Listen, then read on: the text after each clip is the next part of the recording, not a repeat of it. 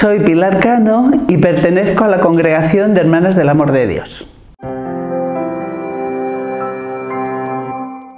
Mm, bueno, son muchos los factores que podría contar, pero creo que lo que realmente me mantiene es pura gracia de Dios, su amor. El descubrimiento de ese amor primero es lo que hace que me mantenga firme y alegre en la congregación. Eh, mi vida de juventud fue una vida de muchísima crisis de fe. Recuerdo mucho un amuno cuando decía, Señor, si existes, manifiéstate. Y realmente se manifestó. Una experiencia de oración muy fuerte donde sentí que Dios es amor y ese amor me ha marcado muchísimo.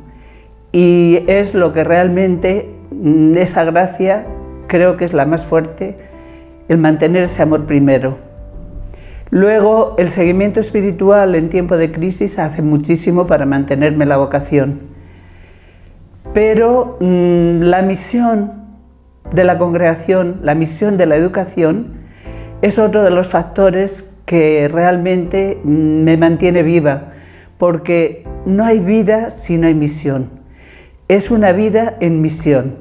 Jesús vino a extender el reino de Dios y esa es nuestra misión a través del Evangelio extender el reino de Dios y esa es una ilusión muy grande porque realmente eh, somos testigos del amor de Dios y es nuestra congregación, la educación, el medio más importante para extender el Evangelio de Jesús.